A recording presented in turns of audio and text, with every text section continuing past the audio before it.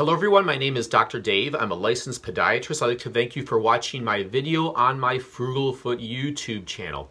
Are you dealing with ingrown toenails or are you concerned about getting an ingrown toenail? Well, this video is for you.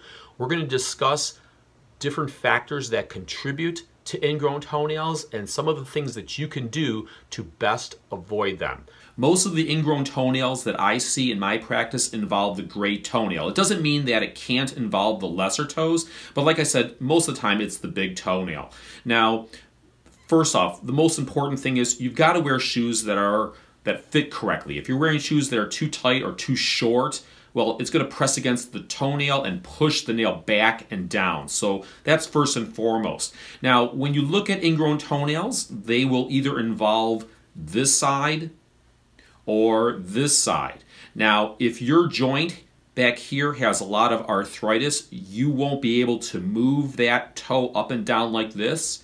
And so when you walk to push off of this toe, you may roll off the side of your foot. And if you have a large callus here, well, that means that you're doing that. And it's very likely that you'll be pushing the skin into that nail border there. So that can cause an ingrown toenail in itself.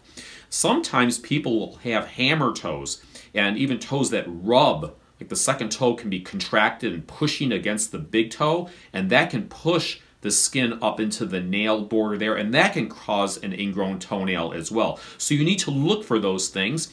Wearing a toe spacer in between your toes can help alleviate that. I'll leave a link to where you can find one of those spacers in the description below.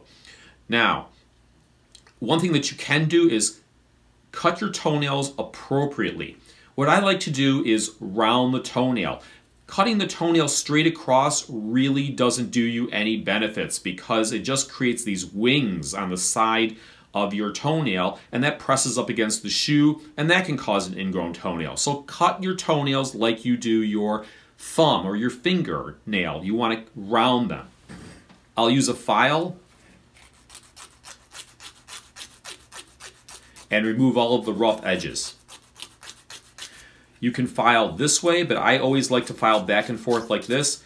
It does a really good job at getting rid of all of the rough edges. And as you can see, the toenail is not cut into the skin at all.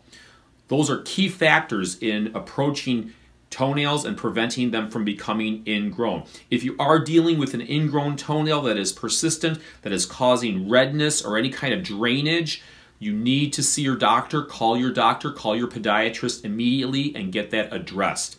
So I hope you learned something from this video. If you did, please give it a thumbs up.